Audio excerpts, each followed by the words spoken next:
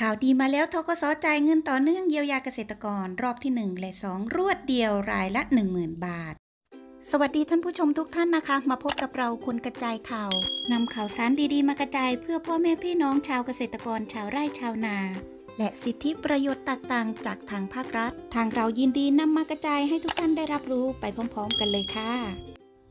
ครงการจ่ายเงินเยียวยาเกษตรกร ทกสโอนเงินให้เกษตรกรตามโครงการ ตามมติคณะรัฐมนตรี เมื่อวันที่ 16 มิถุนายน 2563 จำนวน 75,722 ราย รอบที่ 1 เดือนพฤษภาคม 2563 และรอบที่ 2 เดือนมิถุนายน 2563 พร้อมกัน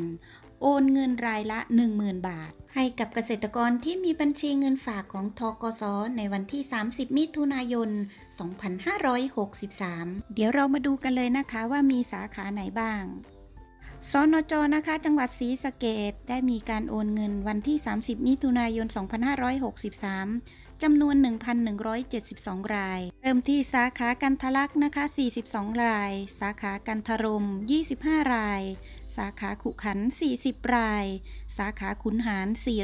447 ราย สาขาถนนพระวิหาร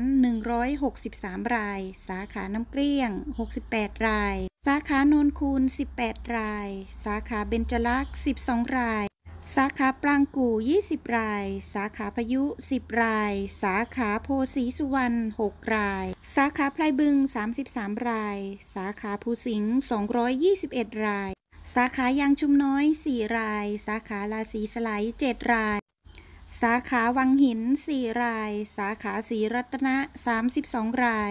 สาขาสีสะเกด8 ราย สาขาห้วยทับทัน 4 ราย สาขาอุทุมพรพิสัย 8 ราย และทั้งหมดนี้ก็คือข่าวดีนะคะที่ทกสโอนเงินต่อเนื่องเยียวยาเกษตรกรรอบที่ 1 และรอบที่ 2 พร้อมกันเลยทีเดียวนะคะ รายละ 10,000 บาท ทางเราคุณกระจายข่าวก็ต้องขอแสดงความดีใจกับพ่อแม่พี่น้องที่ได้รับเงินเยียวยานี้นะคะ คลิปนี้ก็หวังว่าจะเป็นประโยชน์ให้กับพ่อแม่พี่น้องชาวเกษตรกรทุกท่าน และหากท่านชอบก็อย่าลืมกดไลค์ ถ้าใช่ก็อย่าลืมกดแชร์ไปให้คนที่ท่านรักนะคะ กดติดตามพร้อมทั้งกดกระดิ่งแจ้งเตือน เท่านี้ท่านก็จะไม่พลาดคลิปใหม่ๆจากทางเราแล้วค่ะ คนกระจายข่าว ขอบคุณค่ะ